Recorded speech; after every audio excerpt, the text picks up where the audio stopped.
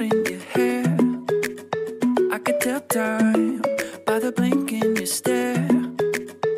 And if I say